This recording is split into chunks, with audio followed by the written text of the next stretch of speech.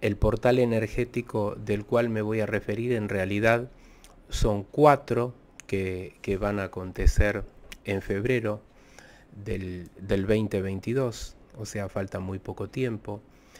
¿Y por qué si falta tan poco tiempo usted está hablando de eso, Rodrigo? Porque la idea es hablar de la preparación, de los rituales, del sentido que puede tener el portal para empezar a, trabajarlo, para aprovechar eh, esas energías eh, que van a estar presentes. Si es que hablamos del mes de febrero, va a haber cuatro portales, ¿no?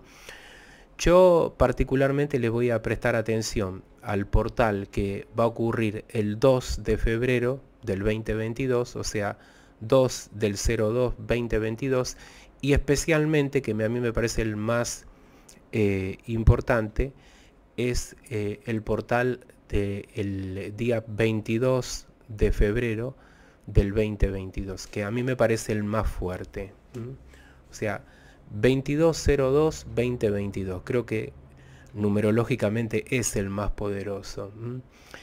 Y los ejercicios que se pueden hacer en estos dos portales, que para mí son los principales, o en los otros dos que, va a haber sobre febrero, eh, son muy parecidos. Son ejercicios o son rituales o herramientas que te tienen que conectar con la transmutación algunas personas me han ido preguntando, pero ¿qué cosa es la transmutación? Es cambiar, Rodrigo.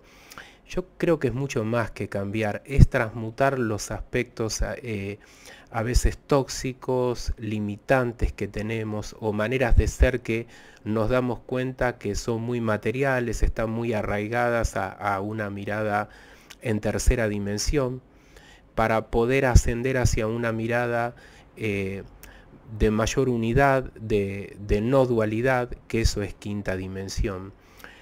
Eh, por supuesto que todo esto, este palabrerío que digo yo, alguno dirá, sí, bueno, pero hay que hacer aterrizar esas palabras y decirlas de una manera normal para que la gente las entienda. Y yo estoy de acuerdo, ¿no?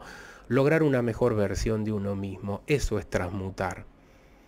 Es, es, lograr conectar con la luz interna, con lo mejor o con nuestra esencia. Básicamente sería eso, transmutar. Eh, y es un proceso individual, o sea, cada uno podrá hacer alguno de los rituales que sugiero yo u otros rituales y todos están bien y probablemente todos generen un cierto bienestar mayor o menor, depende de la persona, depende de la herramienta, depende del ritual, pero todo yo creo que va a ayudar a, a una evolución, a un crecimiento interior, a un crecimiento eh, espiritual. Entonces, bueno, la idea es, como voy a hablar de esto, voy a, justamente explicar los rituales y explicar todas cosas sencillas. No estoy explicando nada, no voy a explicar nada muy complejo, porque cosas sencillas, bien hechas todos los días, producen cambios cuánticos enormes. A veces la persona quiere hacer un solo trabajo y provocar una transformación total de la realidad. Y no es que no pueda ser posible, suele no suceder así. A veces, todos los días, un pequeño esfuerzo positivo por iluminarse, eh, por soltar hábitos tóxicos, por cambiar la frecuencia vibratoria, terminan dando un resultado mucho más profundo que solo en, un ritual. Eh, por más que sea hecho ese ritual en una fecha clave como 22 de febrero del 2022, o 2 de febrero del 2022, que estamos muy cerca, son dos portales para mí muy poderosos, ¿no? Bueno, van a ayudar a la manifestación. Pero hay que hacerse a la idea de que eh, una toma de conciencia, un volverse más consciente de las cosas que no me hacen bien para poder soltarlas, para poder sacarlas, ir trabajando todos los días. De pronto se acercan estos portales, bueno, aprovecho esa fecha para hacer determinados rituales, pero después sigo, o sea, no es que vos decís, eh, yo me voy a transformar, todo se va a manifestar el 22 de febrero, no en, en el día en donde se dan eh, esas energías del portal energético. Y entonces el día 23 ya está, te cruzas de brazo y no haces nada, no. La vida es un proceso evolutivo, todo está en movimiento y así como uno avanza, la inercia personal interna te lleva para atrás después.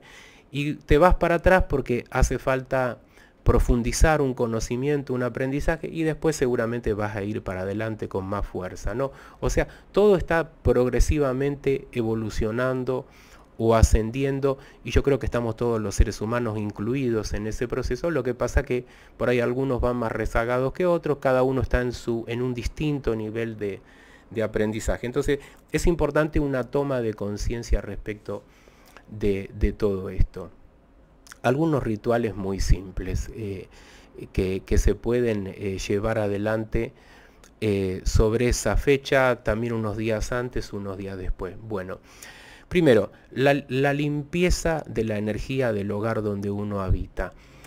vamos a empezar por ahí.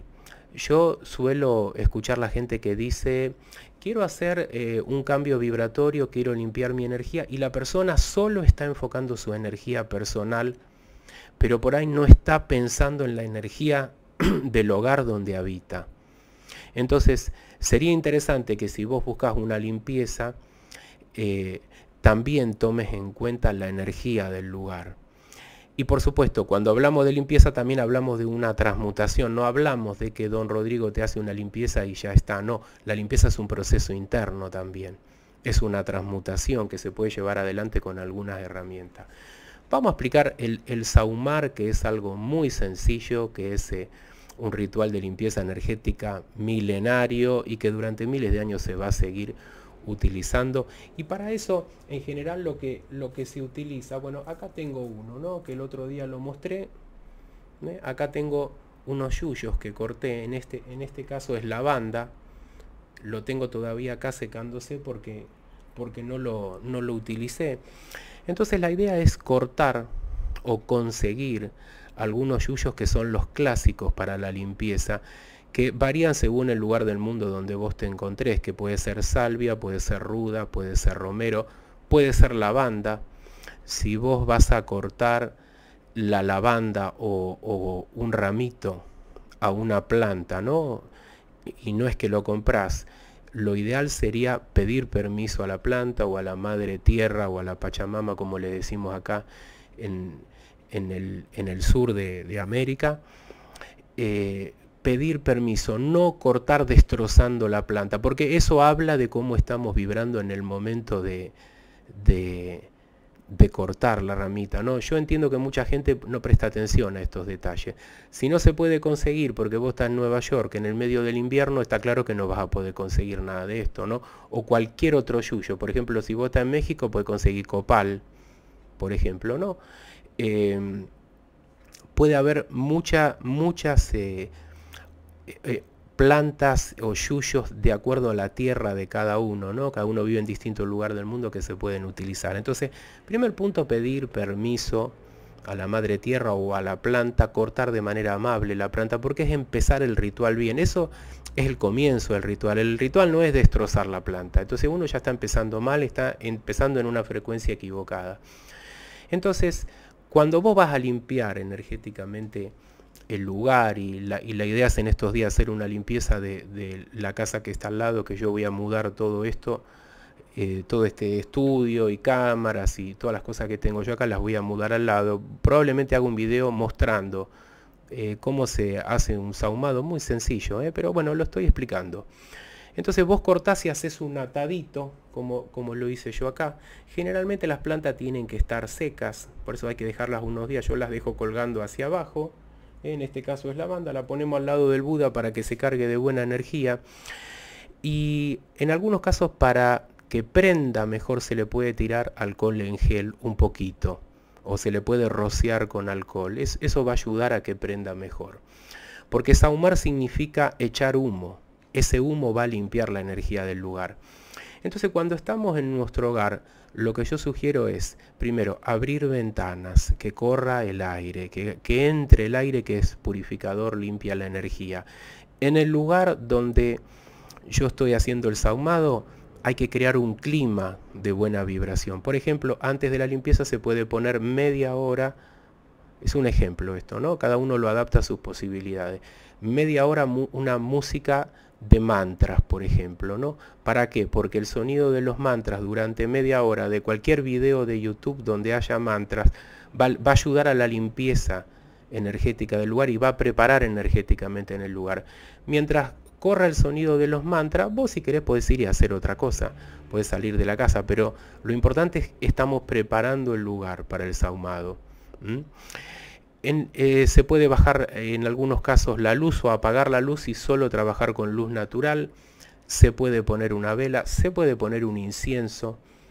La cuestión es crear un clima mágico, un clima espiritual, ventanas abiertas, buena ventilación, sonido de mantra. Entonces estamos por empezar el ritual. Cuando empezamos el ritual, yo lo que siempre sugiero a la gente, entrar en un estado, como decir, de gracia, o, de vibración adecuada, ¿no? No empezar a, prender fuego el ramito ¿no? de, yuyo con el que vamos a saumar. Dicho sea de paso, en algunas botánicas o santerías, como le decimos en Argentina, te van a vender el atadito para saumar en tu propia casa, ¿no? el atadito de yuyos, y, y, eso sirve y está muy bien. O se puede utilizar cualquier yuyo que vos intuitivamente sientas entrando al bosque, al monte, a la selva, que vos sientas que que, dejate guiar por tu intuición, que vos sientas que pueda servir. No importa si no conoces el nombre o no tiene ningún aroma especial, déjate guiar por tu intuición, que es muy importante en estas cosas. Volviendo al comienzo del, ritual, es muy importante eh, entrar en sintonía. Entrar en sintonía hay muchas formas. Yo prefiero siempre una meditación, una visualización para entrar en sintonía, despertando el chakra del corazón, pero puede ser la repetición de, mantra, de alguna afirmación, o sea, ponerse positivo, ponerse en la onda correcta, eh, pedir permiso según tus deidades o, tu, o tu creencia espiritual, ¿no? Vos podés pedir permiso al universo y pedir eh, protección, luz durante este ritual de limpieza. La cuestión es que empezás ya en sintonía, ¿no? Eh, hay que sintonizarse con la respiración, relajarse, entrar como en un estado positivo de gracia y ahí empezás. Prende fuego el, atadito de, yuyos, como le digo yo, eso va a, generar humo y ese humo lo vas pasando alrededor de, de cada cuarto del hogar que vos querés limpiar y mientras lo haces repetite mentalmente una cadena de pensamientos positivos, luminosos y también declarás, si vos necesitas, ¿no? que sale toda mala energía, que el lugar se limpia, que decretas la prosperidad, que decretas la abundancia, por todos los rincones de la casa. Llegamos al final, vos pasaste el, humo por toda la casa, el lugar está limpio. Es muy importante la ventilación. Si querés puede, puede ser que eh, siga corriendo la música de mantras o podés poner una música eh, de mantras para, para que se siga armonizando el lugar. Cerrás el trabajo y agradeces y decretas que todo está bien, que la energía está bien del lugar, que no entra ninguna brujería. Eh, en algunos casos las personas utilizan algún sigilo, un talismán o un glifo, que puede ser el, del cubo de Metatrón, el de la flor de la vida. Hay muchísimos mágicos que a partir de limpiar ponen eh, impreso en un papel sobre la puerta de la entrada, sobre las ventanas como una forma de protección y vos decretás que ese eh, glifo, que ese símbolo protege al hogar de las malas vibraciones. Entonces, este es un ritual muy sencillo, pero entiendan que la clave está en cómo uno está sintonizado, porque esto se puede hacer perfecto, así tal cual lo dije yo, y sin embargo la persona está pensando en los pajaritos, como digo yo, que pasan volando. Entonces no está sintonizada la persona. Si la persona hace el saumado, ¿no? y en vez de decretar con seguridad que se limpia toda mala energía, eh, eh, internamente está pensando todo va a salir mal, seguro que esto no da resultado, me hicieron brujería, me envidian esto, lo otro, bueno, vos le estás dando poder a lo negativo. Entonces el ritual no va a tener el mismo impacto. Las personas que tienen alguna deidad de su devoción, por supuesto que pueden invocarla eh, o invocarlo durante este ritual que, como está explicado, es muy simple. Es muy simple. Em, ¿Qué tipo de meditación se puede hacer para entrar en ese estado eh, de gracia? Para mí se puede hacer una meditación simple, tienen un montón de posibilidades de visualizaciones guiadas en, YouTube, hay una infinidad de visualizaciones que cualquiera con la que vos te sientas conectado está bien. Yo simplemente te diría lo siguiente, si vos te sentás, pones la espalda recta, cerrás los ojos, respiras por la nariz, te relajás y sentís la entrada del aire a tu cuerpo, intentar respirar con la parte baja, no con la garganta. El aire sale, el aire entra. Vos sentís que el aire entra a tu cuerpo y se llena. Imagina que entra la energía del universo y llega hasta lo profundo de vos eh, y se va a hinchar tu, tu vientre. Y de pronto sentí que esa energía ahora vos la, la expulsás de una manera amorosa hacia el universo y relájate y sentí que entra la felicidad o, que entra una sensación de alegría o de energía a través del aire. A eso le podríamos decir prana, ¿no? Sentí que entra la energía. Si vos eso lo haces 10 minutos, 15, yo te aseguro que aunque no lo hayas hecho nunca, te vas a sintonizar. Es cuestión no de creer lo que digo yo, es cuestión de hacerlo y ahí se van a dar cuenta.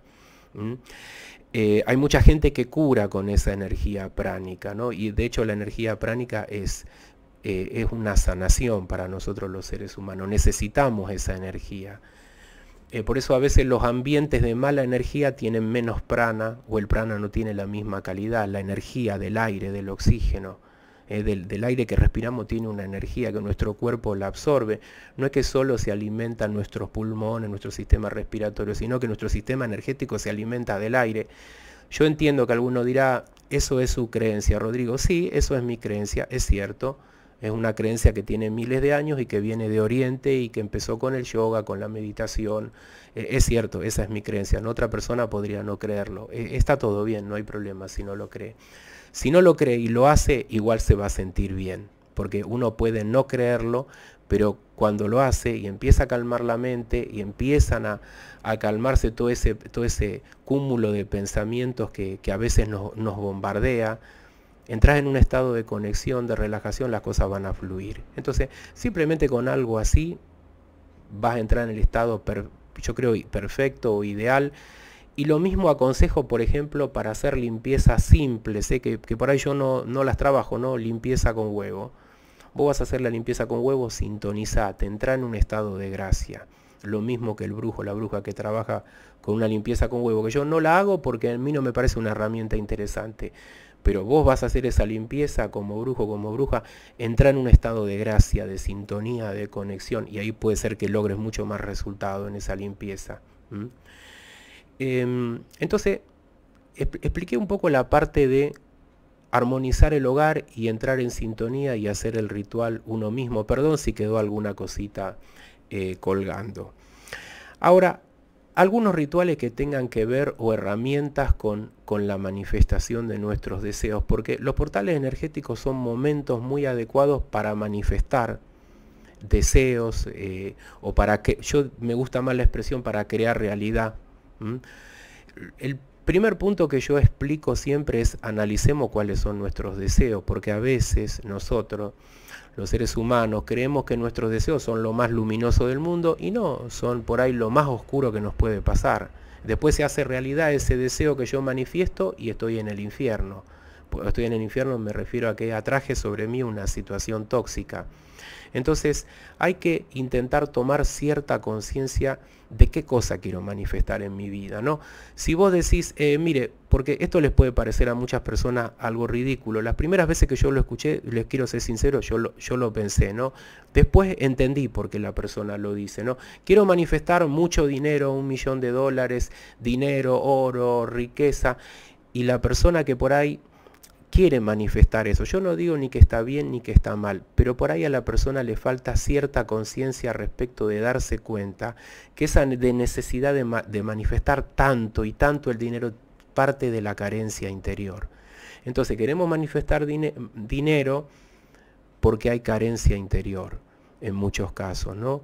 Entonces habría que trabajar sobre eso, porque después la persona gana mucho dinero y no sabe qué hacer con el dinero, eh, necesita complacer otros deseos, se siente satisfecha y no logró ninguna felicidad como creía simplemente por tener dinero, porque el dinero es una herramienta, es una energía y nada más. Si se usa mal o si usa desde la carencia, siempre vas a necesitar y más y más y más dinero para ser feliz y nunca vas a ser feliz porque no estás entendiendo que hay carencias internas, ¿no? Entonces, analicemos un poquito lo que queremos manifestar, ¿no? A, ver, algunas herramientas de la manifestación para hacer, y explico dos rituales muy sencillos que, que son muy comunes. Yo los dos los utilizo en algún punto del año con las personas que voy trabajando. Para manifestar los deseos, ¿no? O crear realidad, que crear realidad me gusta más a mí, pero la gente entiende más la cuestión de manifestar los deseos. Bueno, una vez que uno los analizó, los deseos, de acuerdo al nivel de conciencia de cada uno, y uno dijo, bueno, estos deseos si se manifiestan me van a dar felicidad, van a ayudar a mi crecimiento interior, etcétera, etcétera. Ok, hablamos de dos técnicas rápidas, ¿no? Primero, escribir una carta al universo. Eso se puede empezar antes del portal. Yo siempre recomiendo toda la cuestión que tenga que, que, tenga que ver con escribir cartas, escribirlas a lo largo de tres días. ¿Por qué? Porque a veces la gente quiere escribir una carta así en un día y se apresura y, y, se le escapan muchos detalles y no puede decodificar o analizar bien las cosas. Entonces, escribir una carta a lo largo de tres días al universo donde vos le contás tus planes, le contás lo que vos querés atraer, le contás lo que querés manifestar o sea, una carta como si vos le escribieras a un amigo. Y por eso lo que uno escribe tiene que ser mm, analizado, desglosado, pensado. No es simplemente quiero ganar un millón de dólares. Bueno, no es que esté mal, no es que esté mal, pero tiene que haber un análisis y no es la carencia lo que me manda a pedirle al universo dinero. Y yo creo que el dinero es lo que me va a dar seguridad, estabilidad, felicidad, y el dinero puede no darte nada de todo eso si vos estás desequilibrado. Internamente, al revés, te puede ayudar a destruir o a autodestruir si vos no tenés un equilibrio interno. Escribir una carta al universo donde vos eh, le manifestás todo lo que vos querés atraer. Y la carta al tercer día, o sea, el tercer día tiene que ser el día del portal, vos la vas a quemar y las cenizas las vas a soplar al viento fuera de tu casa, o sea que la carta va a, terminarse de, una forma ritual, con la quema y el soplo de ceniza, y las cenizas, cuando vos las soplas al viento, es como si el mensaje llegara al universo. Por eso se termina en forma de ritual la carta. Hay otras maneras como por ejemplo quemar la carta eh, juntar las cenizas y las cenizas ponerla en la tierra, así como, como cuando vos pones una semilla en la tierra esperando que crezca eh, un árbol, ¿no? esperando que florezca. En este caso lo mismo, es soplar la ceniza al viento, es esperar que florezca todo eso que vos estás queriendo manifestar. A su vez en la carta se pueden agregar algunos otros eh, aspectos que son interesantes, porque si no, eh, a veces pasa que la gente se queda solo en una carta para pedirle al universo. Está mal, no está mal nada de lo que uno haga porque es parte de un aprendizaje, pero está bueno en esa carta agregar algunas cosas que tengan que ver con tu crecimiento interior. Por ejemplo, habla de a qué persona perdonaste, habla de algún pedido de perdón que vos hiciste, eh, habla también de otras cosas que tengan que ver con tu evolución, con tu sanación interna o tu deseo también no solo de recibir cosas materiales, sino de reconciliarte con determinada persona que ya no está más en tu vida y que quizá nunca más te vas a relacionar ni como pareja, ni como amiga, ni como amigo, pero yo pongo dentro de esos deseos que quiero manifestar, también pongo ese deseo de que esa persona se ilumine, no sé, dejo de joder la vida de la gente, sea una persona plena, tenga una vida de abundancia. O sea, no solo centrar sobre uno, sobre los deseos, ¿no? Porque a veces... Eh, ¿Qué va a ser? Nos volvemos un poco egoístas los seres humanos y solo pensamos en necesito esto, necesito lo otro, necesito esto otro, pero no podemos salir de, ese nivel de conciencia de pensar solo en nosotros mismos. Dentro de esos deseos también se pueden agregar deseos globales que tengan que ver con el bienestar de, nosotros, de la especie humana, también de la especie animal. Podría ser alguna persona vegana, podría expresarlo también en esos términos, lo cual a mí me parece fantástico. Eh, las cosas que queremos manifestar dentro de la familia, las cosas que queremos manifestar para los hombres de, de digamos, de nuestro árbol familiar o las cosas que queremos manifestar para las mujeres. Y las mujeres de tu familia han sido todas personas eh, muy heridas, muy limitadas, que han vibrado en el, en el femenino tóxico. Bueno, yo también quiero poner, supongamos que vos sos mujer, ¿no? Que no es que yo solo quiero sanarme, sino también quiero sanar a las mujeres que han venido antes de mí, a las que están por venir dentro de mí, o sea, de, las que están por venir después de mí, ¿no? Y dentro de ti seguro, porque a través de, de ti que sos mujer vamos a, vamos a venir todas las personas a este mundo, ¿no? No hay duda. Pero es muy importante abrir el espectro y no solo quedarnos en los deseos personales que son salud, dinero y amor en general. Porque los deseos de las personas generalmente van por ese rango y no está mal.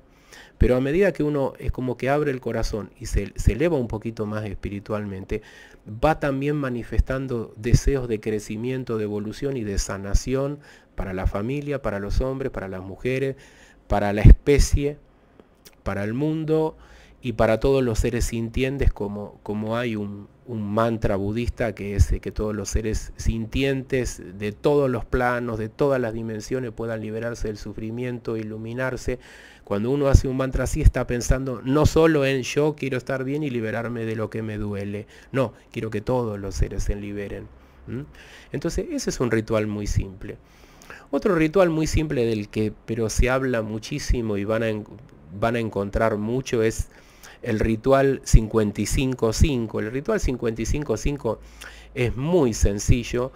Siempre yo les aconsejo que, que, analicen la cuestión de los deseos, ¿no? de lo que van a escribir, porque 55.5 significa lo siguiente, escribir 55 veces en un papel durante 5 días el deseo que vos querés manifestar.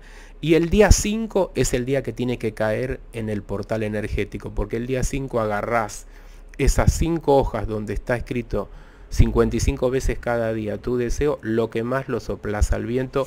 Puede haber muchas formas de terminar el ritual. ¿eh?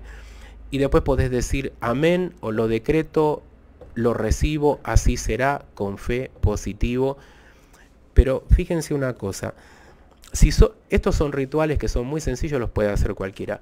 Pero si uno se queda solo en eso, ¿no? Uno dice, bueno, listo, tengo un montón de problemas, ¿no? Entonces espero el portal, hago el ritual 55.5, ¿no? Quiero que se manifieste el amor, la salud y el dinero. Ok, son cosas muy humanas, ¿no? Y entonces el día 23 de febrero, ¿no? Si tomamos de punto de referencia el portal energético del 22 de febrero, ya está, me cruzo de brazos, está todo resuelto porque la cuántica figura así. Yo lo que te digo es entrar en un estado de conciencia distinto o manifestar ese cambio que queremos, es todos los días intentar comportarse también en ese estado de vibración. No, no, no es que nos sirva, ¿no? pero si un día entramos en esa conexión y al otro día volvemos a la apatía anterior, puede ser que hagamos un pequeño retroceso que es parte de un aprendizaje. Entonces, no es que si usted va a hacer esto que digo yo, en el portal 22 de febrero todos sus problemas se van a resolver. Más bien intentemos entender que tiene que haber una transmutación, un cambio, y estos son algunas herramientas o rituales simples que ayudan a esa transformación. Eh, eh, se entiende, no sé, espero que, quede lo, lo, más claro posible, ¿no? Nosotros somos energía y todo está en movimiento todos los días, a cada momento, cada segundo. Los átomos se mueven, todo se mueve. Uno ve una roca y cree que es algo sólido. No, no existe lo sólido. Eso es un, es un invento de la propia mente tuya, como de la mía, que veo la pared y toco la pared con la mano ahora en este momento y creo que es sólida. No, nada es sólido. Todo está en movimiento lo mismo que nuestra energía, lo mismo que nosotros mismos. Entonces, todos los días hay que intentar vibrar un poquito mejor. Va a haber días, por supuesto, donde uno eh, va a sentir que hace avances y días donde parece que uno retrocede, pero todo es parte de un proceso de ascensión, de evolución. Confía en tu proceso, te va a ir bien, te va a ir bien.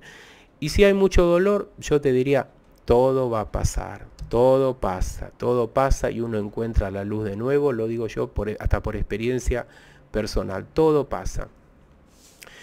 Eh, Entonces, estos son algunos rituales simples. A esto le podemos agregar lo siguiente, porque fíjense, entramos en un estado de gracia a través de una meditación, hicimos la limpieza del lugar, supongamos que hacemos el ritual 55.5 o hacemos la carta del universo, y también se puede hacer un baño, un baño uno mismo. Yo siempre sugiero, y de hecho esta semana y la anterior lo he trabajado con la gente que, ayudo, un, un baño de pétalos de flores, porque yo creo que la limpieza no es algo que yo solamente como brujo debería llevar adelante con una foto, por ejemplo, hoy mismo, ¿no?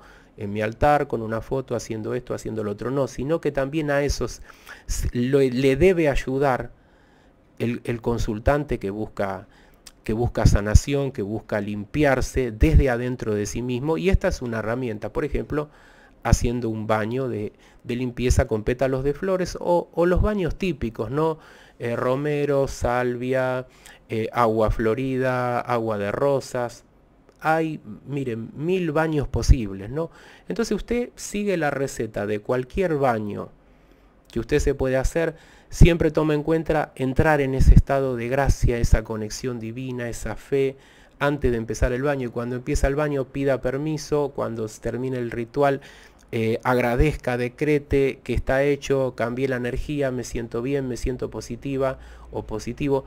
Y eso va a generar un impacto positivo y energético, pero también tengamos en cuenta que al otro día uno se puede levantar por la mañana, puede venir un recuerdo de pasado a la mente y puede generarse sufrimiento. Entonces uno dice, como hice la limpieza ayer y hoy estoy así, porque hoy es otro día y hoy hay que intentar hacer las cosas de la mejor forma posible.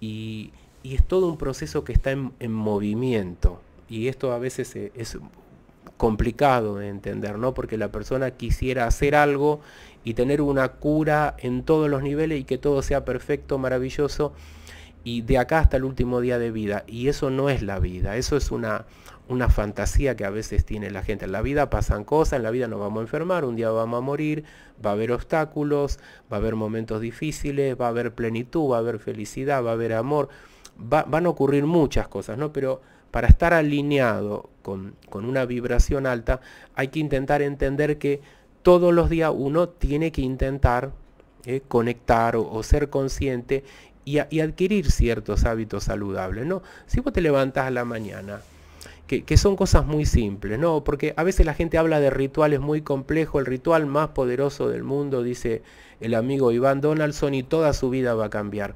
Y a veces se trata no de creer que vos vas a hacer un ritual y vas a transformar todo, sino de pequeñas cosas todos los días. Vos te levantás a la mañana, no es lo mismo arrancar el día con una meditación o agradeciendo y diciéndote afirmaciones positivas y poniendo una sonrisa, no, no me puedo reír porque me levanto de mal humor. Yo también, pero le intento poner onda.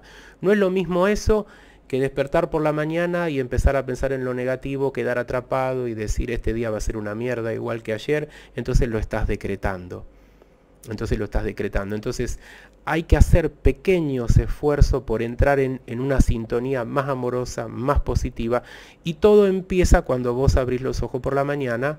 No es lo mismo, gracias, gracias. Gracias por qué, Rodrigo, una vez me dijo una persona, si mi vida es una mierda. Porque estás vivo porque estás vivo y todo eso que vos decís que es una mierda, que es un regalo del universo de Dios, se puede dar todo vuelta. Todo te puede ir bien, todo se puede dar vuelta. No es que la vida, entonces hoy te va mal y entonces vas a estar mal 60 años de vida, no. Y por supuesto que no hay que ser iluso, infantil y creer que no van a pasar cosas malas en la vida. En la vida van a pasar muchas cosas malas, a todos. A todos. Yo no conozco ningún ser humano que no le haya pasado en 50 años de vida algo duro ¿me entienden? Pero es parte de la experiencia humana, esto no es un parque de, diversiones. Esto es un, mundo al que se viene a experimentar y se va a experimentar de lo lindo, de lo feo. Entonces, cuanto más luminosos estemos, y, eso se empieza a trabajar desde la mañana, ¿no? Uno se levanta por la mañana y agarrar hábitos positivos. Porque si vos tenés hábitos de volver con la cabeza al pasado todo el tiempo, y quedar atrapada o atrapado, se los digo porque a mí me pasó hace 20 años, un año de mi vida volvés, me hizo esto, me hizo lo otro, ¿por qué me pasa esto a mí? Todo en sintonía negativa. Entonces esa sintonía negativa es una sucesión de, afirmaciones negativas que te van, no afirmaciones, negaciones, ¿eh?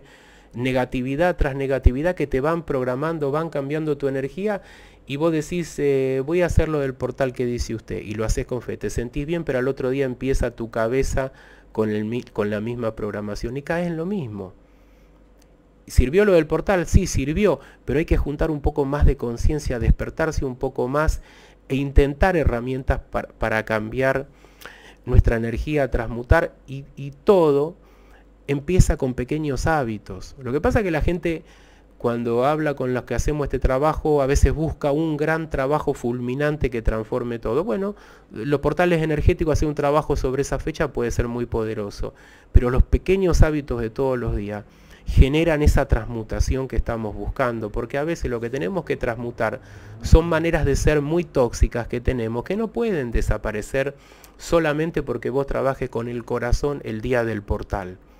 ¿Me entiende? Al que le pasa bienvenido sea. Y si le pasa a alguien el día del portal es porque ya inconscientemente venía trabajando y se produce el milagro, así como, como cuando Cristo le devolvía la vista a la gente, porque esa persona estaba alineada ya con el milagro y podía recibir el milagro y le ocurrió.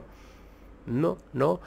Eh, y otra gente, Cristo quería hacer milagro, quería sanar y no sanaba para mí la Biblia dice equivocadamente es porque la persona no tenía fe. Yo no estoy de acuerdo con eso, porque es una forma de hacer sentir culpable a la persona, sino que la persona no estaba en sintonía con la sanación.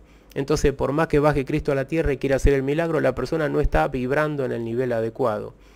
Entonces yo creo en un trabajo de todos los días sostenido, con pequeños hábitos, eh, y los pequeños hábitos no, no es que solo son a la mañana, ¿no?